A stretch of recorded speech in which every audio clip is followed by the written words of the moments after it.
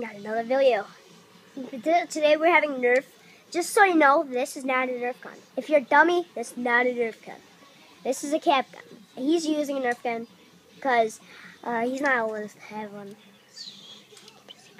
So we're gonna verse in a couple seconds. We're just gonna explain you what this is.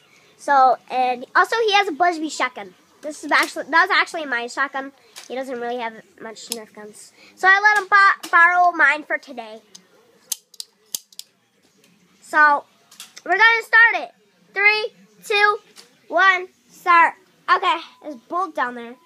Ooh, should I get a bullet? No.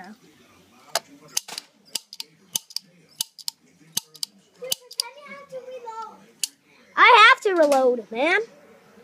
I have to open this thing. Okay.